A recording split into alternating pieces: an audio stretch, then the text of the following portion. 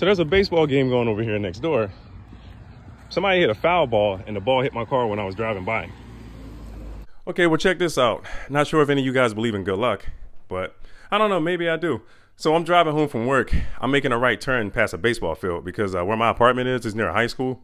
And right in the moment where I'm, I'm making that right turn, it's like somebody hit a foul ball. It went over the fence and it hit the side of my car on the driver's side. So I, I walked over there to, uh, to see who hit the ball because I was gonna try to get the guy to get the kid to sign the ball. Maybe it's good luck. You know what it was? You know, you know who hit it?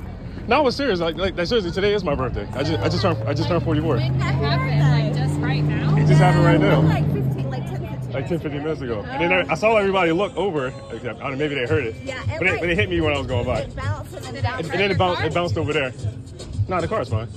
I was gonna get, I was gonna get him to sign it. He's I don't know who it would be. I don't know if I asked somebody Were on the we batting?